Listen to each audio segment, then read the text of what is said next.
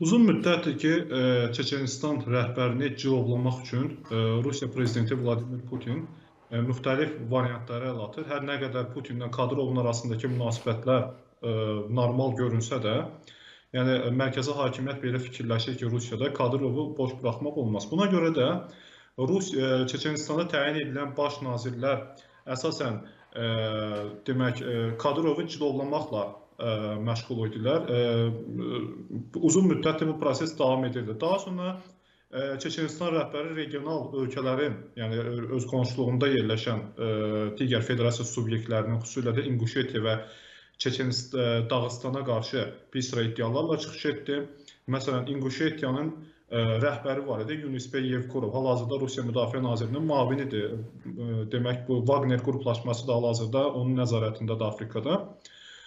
Yevkurovla məsələn Yevkurovun İnquşetiya rəhbəri vəzifəsindən azad edilməsinin əsas səbəbkarlarından biri məhz Kadirovla onun arasında olan toqquşmadır.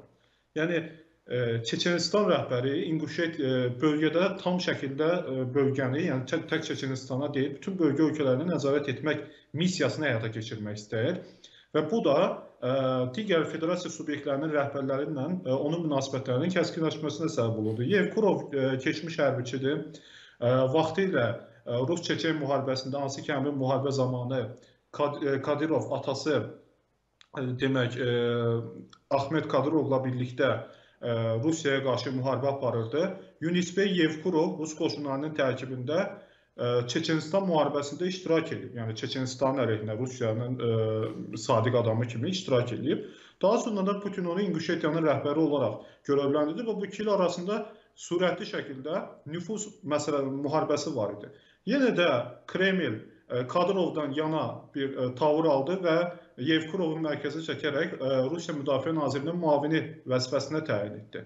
Ancaq bu bölgəyə xüsusilə hərbi elitanın nümayəndələrinin təyin edilməsi və Kadirovun Rusiyanın şimal korpusuna, yəni Şimali Qafqazda yerləşən, daha doğrusu Cənub korpusuna, hansı ki Şimali Qafqazda yerləşir, həmin korpusu öz nəzarəti altına alması və Axmet xüsusi təyinatlı dəstəsinin məhz bu korpusun vasitəsindən istifadə edərək Axmedi gücləndirməyə çalışması və onlardan üstün tutmağa çalışması bu öz özlüyündə təbii ki, yəni xoş qarşılanmayan bir hadisədir və buna görə də Rusiya prezidenti məhz Yevkurovu vəzifədən azad etdikdən sonra Dağıstan rəhbəri vəzifəsinə bu dəfə Sergey Malikovu gətirdi. Sergey Malikov kifayət qədər hərbi təcrübəyə malik olan şəxsdir. Bölgəni çox yaxşı tanıyır. Uzun müddət Rusiyanın bir çox hərbi birləşməsində qərargah rəisi vəzifəsində çalışıb.